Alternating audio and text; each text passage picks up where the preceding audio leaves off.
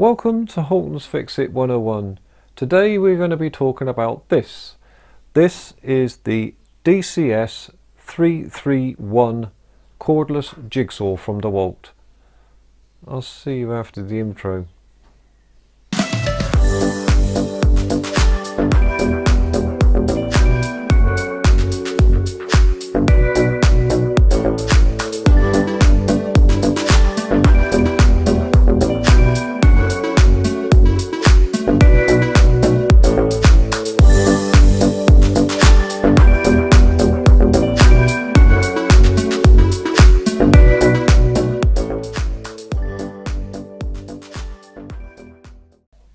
Welcome back.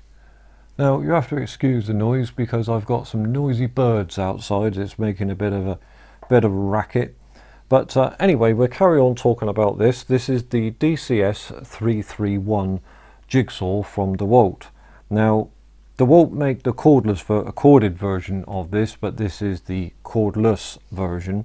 And uh, they had a bit of a um, reputation of being the steam train of um, cordless jigsaws or jigsaws in in in, uh, in the way they are.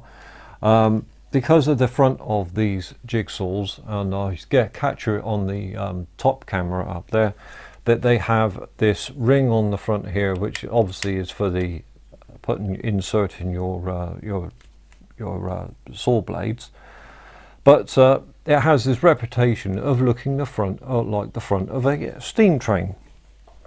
So but it has it's packed with a few little features and everything else that I quite like to be honest with you. Um, that uh, obviously the blade change is uh, is one-handed there and you just insert I've got a blade here I'll do it for you. Um, and we'll insert a blade you can see it on the top camera up there. You put it you put it in there like that let that go and it's all completely secure now you can see that on the on the top screen on the top screen, and uh, in that that's a good feature for a start. It has a variable puffer um, feature on the side here that you can turn down or turn off, and uh, you can see that of course. And uh, it's packed with another little feature on the side here. It has the pendulum um, action on the blade. That means the blade when it goes it goes sort of like that to go and do its cutting. So I like that feature. Um, it's basically in a um, cordless version of, uh, of a um, jigsaw. Um, obviously has four modes. It has the off mode and uh, it has one two and three. So uh, the more the more it wants to pen pendulum. And it also has a uh, a lever on the back here. You can see it on the top cam on the top camera up there. You move the lever over like that and it allows this to articulate it so you'll be able to articulate the the thing over to to whatever angle you want to. That's if you're doing angles of course and it will go both ways on that on that pendulum action. But which which I found is a very very good little feature to have but apart from you know the obvious thing in the room, that it's uh, it's cordless. You'd be able to take it anywhere. You're not constrained to having it on, you know hooked up to a, a power socket at the wall. And uh, I've I've used it a couple of times. It, this one particular one is actually my son's. Uh, he wanted one and he gone out and gone himself a decent one. It came at the right price. It was on a deal at the time, so he went and got it it has all this lovely over molding on the top so it's nice easy on your hands. Um, but again with the sander um, that you saw on a previous video that, I, that, I, that he bought as well it has the obvious thing that if you it depends on how big a battery you actually put on the back because the bigger a battery the more it's going to want to go and do this. And I've got a couple of batteries here Obviously this small one on the back here is not going to make much difference to the actual weight of the of the back of the machine. But again, it comes into runtime. Uh, your runtime is actually reduced by having such a small battery and this one being a 2 amp hour battery I'm not expecting to get a loss out of it again you can go back down to um, something like this 4 amp hour battery you put that on the back your, your, your trade-off is obviously you'll get a longer runtime but you'll get a heavier battery on the back and it also makes the tool that much more um, weighty in your hands when you're using it.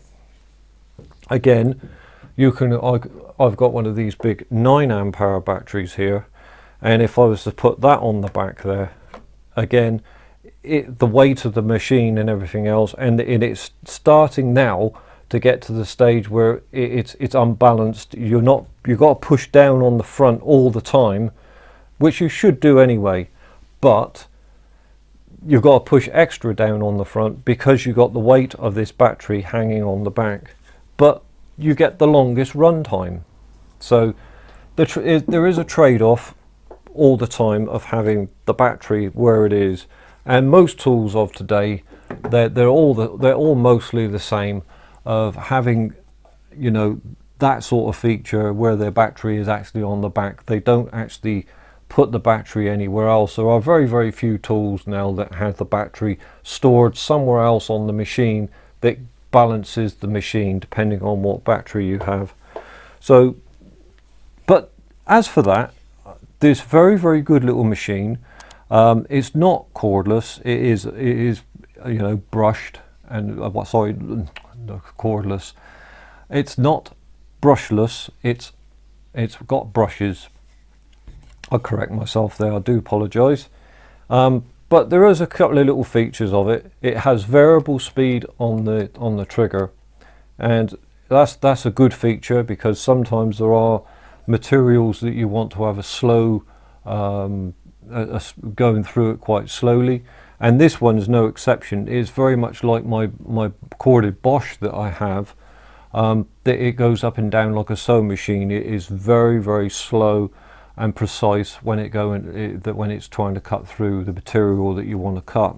This one's no exception. It will do exactly the same.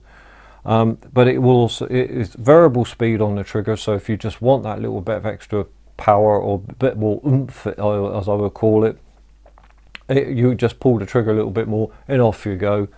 But it's good for when you're getting started on on, on a if you're getting started on the edge of a piece of wood it's, it's brilliant for that because you can have it just going just nicely till it gets till it bites in and, and then it's off you go.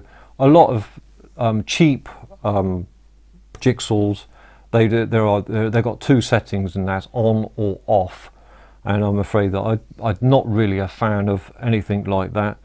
But um, this one's very very good. And it also has uh, a switch on here which you can see on the top of our camera up there that um, this switch here. And that will allow you to switch that off like that so you cannot pull the trigger.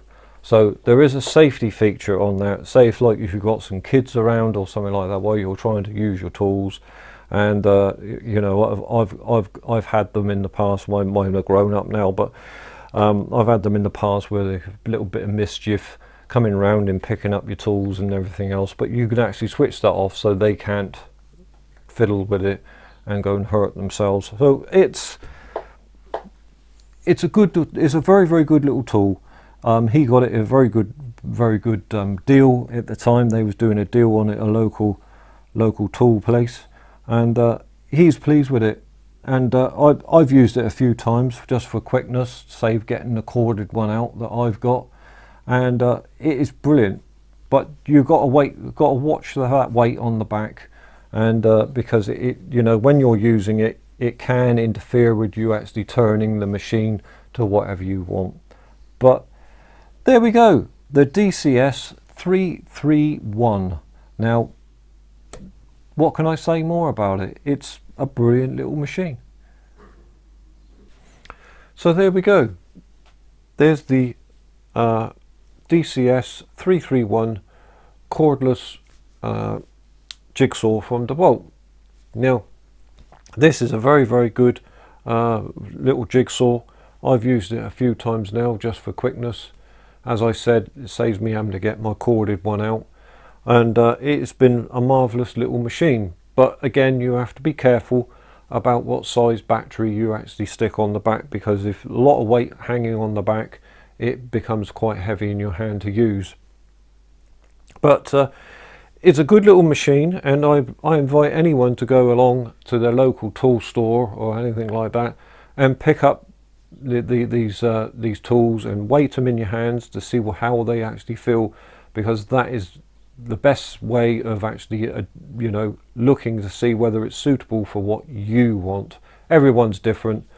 You know this this suits my son and I've used it a few times and it, it, it suited me as well but it doesn't suit everyone. So there there we go. Well anyway if uh, you want to contact me on the usual social media channels there they are coming over there and uh, if you like this video please click that like button and uh, please remember to subscribe to the channel. And I will see you again on another one. I'll see you again sometime. Bye bye